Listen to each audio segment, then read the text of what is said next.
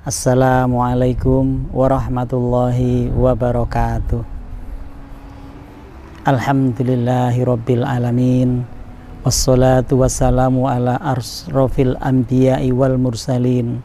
Habibina wa maulana Muhammadin sallallahu alaihi wasallam Wa ala ali wa sahbihi ajmain. Amma ba'da Bapak ibu kaum muslimin yang dirahmati Allah kita sangat bangga dan sangat merasa senang karena kita oleh Allah dirahmati Allah diridhoi Allah bisa bertemu ulan bisa bertemu bulan Ramadan. Bulan yang penuh dengan kebarokahan bulan yang penuh dengan rahmat bulan yang penuh dengan keriduan dari Allah sebagai rasa senang, rasa bangga, rasa syukur kita kepada Allah.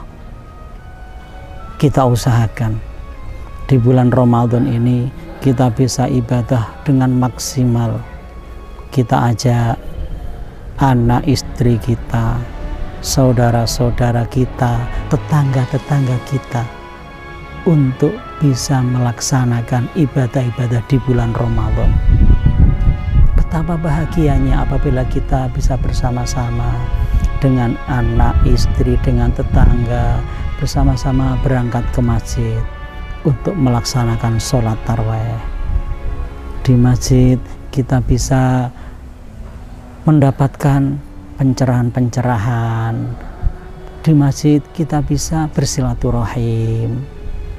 Betapa bahagianya apabila kita bisa melaksanakan ibadah puasa full selama Ramadan dengan hati yang ikhlas, hati bahagia.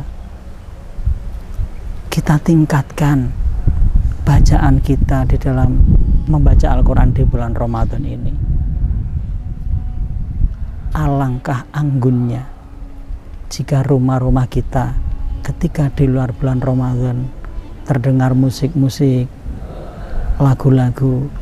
Di bulan Ramadan ini kita ubah kita perdengarkan bacaan-bacaan Al-Quran sebagai sarana meningkatkan amal dan juga nanti pada malam Lailatul Qadar kita bisa bersama-sama dengan keluarga kita untuk di masjid iktikaf dan pada saatnya kita harus bersama bisa melaksanakan zakat sebagai salah satu kewajiban. Ini semua kita kerjakan sebagai wujud rasa syukur kita kepada Allah atas ridhonya kita dipertemukan pada bulan Ramadan ini. Tentunya kita ingat saudara-saudara kita yang tidak bisa menjumpai bulan Ramadan karena sudah terlebih dahulu dipanggil Allah. Sahabat kita yang tidak bisa menjumpai bulan Ramadan tahun ini karena sudah dipanggil Allah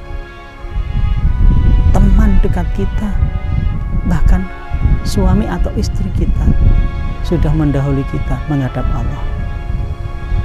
Kita saat ini diberi kesempatan Allah untuk meningkatkan, memaksimalkan, mengoptimalkan apa yang telah diberikan Allah kepada kita, yaitu bertemu bulan Ramadan untuk meningkatkan derajat kita, meningkatkan pahala kita, sehingga kelak di sisi Allah kita mendapat surganya Allah. Kita bisa masuk ke dalam surganya Allah. Allahumma amin. Bapak Ibu, semua yang kita lakukan ini tidak lepas dari rahmat dan ridhonya Allah. Kita kita minta pada Allah. Mudah-mudahan Allah senantiasa memberikan rahmat dan ridhonya kepada kita untuk melaksanakan ibadah dengan niat ikhlas tulus hanya untuk Allah. Sebagaimana perintahnya Allah wa ma umiru illa liya'budullah muhsinal yautin Inna Allah la yaqbalu minal amal illa ma kana lahu khalisan wa ba'tuya biwajhu Mudah-mudahan Allah memberi kita memberikan ridho kita untuk beramal karena Allah sesuai dengan ridhonya Allah. Demikian yang bisa saya sampaikan. Mohon maaf apabila ada kekurangan. Dari saya cukup. Wassalamualaikum warahmatullahi wabarakatuh